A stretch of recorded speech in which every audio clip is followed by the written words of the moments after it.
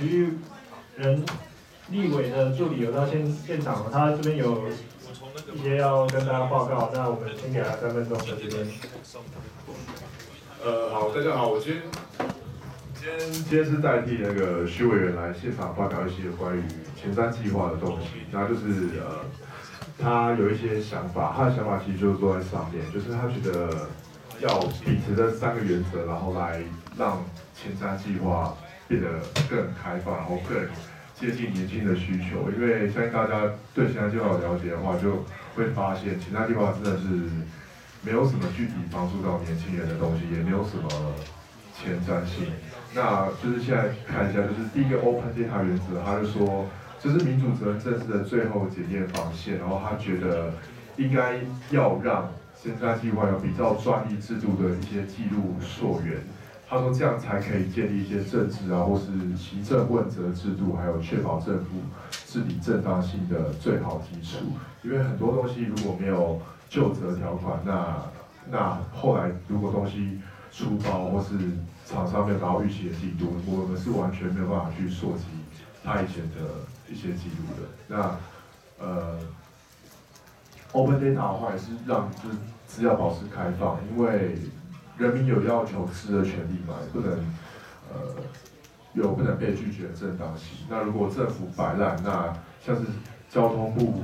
就不回应一些轻轨案有关资料问题。那那如果像交通部不回答，我们就必须要让其他单位来做对这个做一些回应。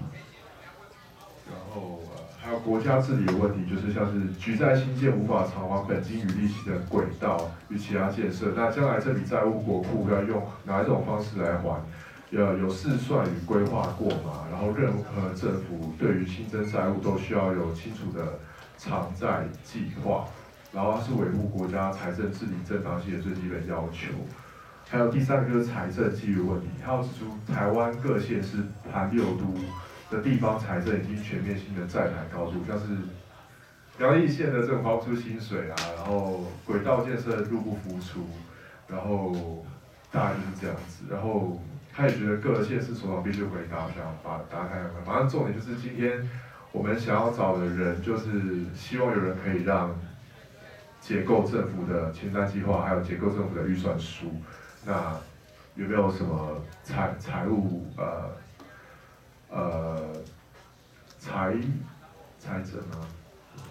就是一些财务背景或是一些动，之前有在政府机构工作过的人，可以帮助帮助我们结构这个前瞻计划，对，大概这样。